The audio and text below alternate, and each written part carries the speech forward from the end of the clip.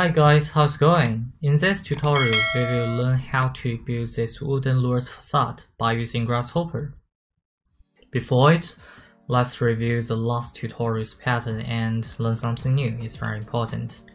In the last tutorial, we use interference in Grasshopper to make this pattern. Okay, let's see how to do it again. First, I use the square grace to build the grace and flatten it using the flatten tree here. Okay. And use area to find the centroid point of the grace. Because I want to use pull point to find the distance from the centroid point to the curve. This is a curve.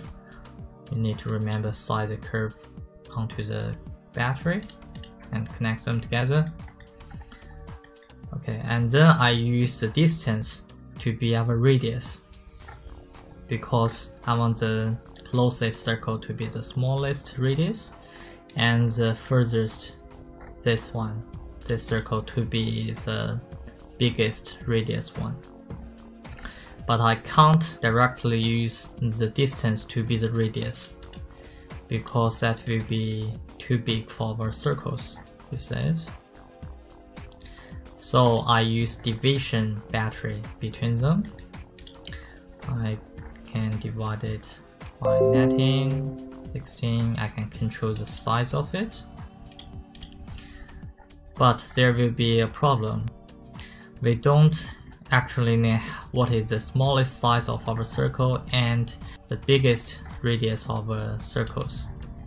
But we really want to know it because in the real life we need to control the minimum radius number and the maximum radius number. Okay, let's see how to do it. Enable these groups of batteries first. Okay, the first battery we will learn is this one. Bounds.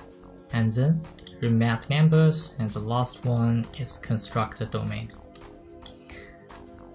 Okay, in the later tutorials, if we want to cite the minimum and the maximum numbers of the domain. We use these three batteries. Let's see how to use it. Okay. Okay, I drag a panel here. We don't use division battery anymore, so I just delete it. Okay, you can see all the circles now, they are in the same radius. If I input my distance to this panel and you can see all the distance from the centric points of these circles to the curve are showing in this panel now. A lot of numbers.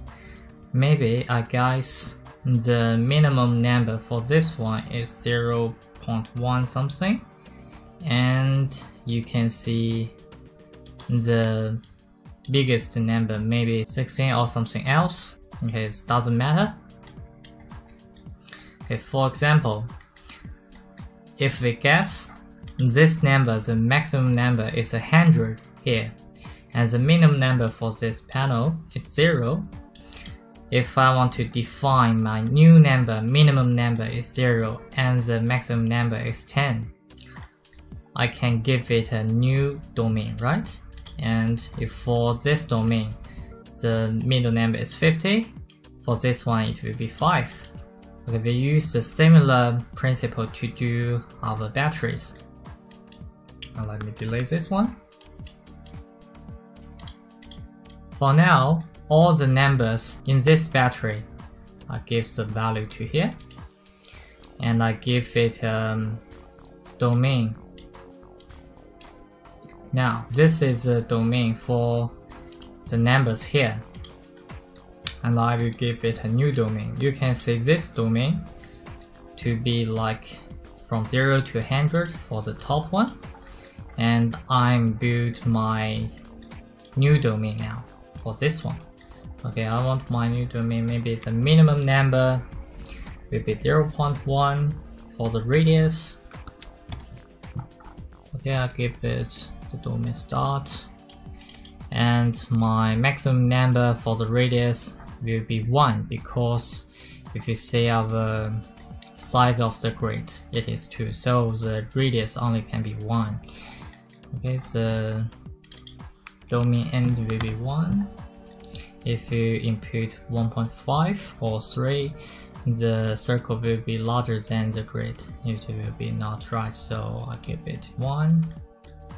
Okay, and then I use mapped to link the radius. Okay, then you say the closest circle will be 0.1, maybe this one is 0.1. It is the minimum number of the radius. And the furthest one, maybe this one or this one. This is a maximum radius number for the circle. Okay, if we check it, we can use the panel and connect it to here.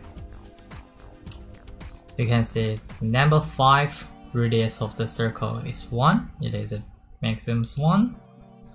And last one, the minimum number of it. It's hard to find it, but it will be 0 0.1. You can see there is 0 0.271 something. And we can find smaller one 0 0.11 0 0.1029 and I believe there will be a 0 0.1 number here. Yeah but it doesn't matter. Okay guys practice it. And then we do the wooden louvers example. Hi guys, how's going for the tutorials? Now I would like to share something with you. As you know, you can watch tutorials on our channel. But for those who just starting with 3D modeling or who is interested in having more details and thematic learning to improve their Rhino skills, we have designed a series of architectural modeling and design courses for Rhino and Grasshopper. Come to our website, rhinoarchschool.com. The first link in the descriptions. Let's see how it works. Open your browser windows and tap rhinoarchschool.com. Get close to look our course. You can join our Rhino architecture design tutorials from beginner to advanced course. The first one is unlimited time course. The second one is monthly payment course. They're the same course, just different purchasing method. Learning this course, you will get a step-by-step -step approach to learn with how to be modeling organic architectures, parametric architectures through interesting cases and famous architects project. For example, Zaha Hadid's project, Mass project, Via Pinko's project, Shitiju Huang's project, and much much more. Join our professional architecture course and design your miracle. Also, if you want to have files, materials, or YouTube tutorials, you can get them by supporting Become Our blog members. You can find the link in the description.